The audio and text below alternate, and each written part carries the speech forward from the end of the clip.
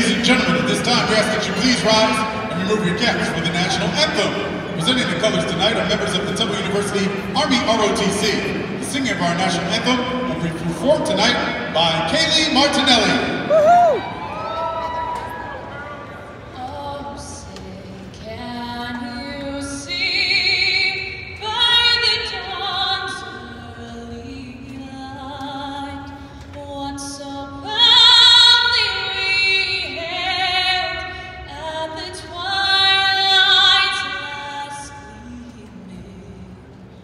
Whose broad stripes and bright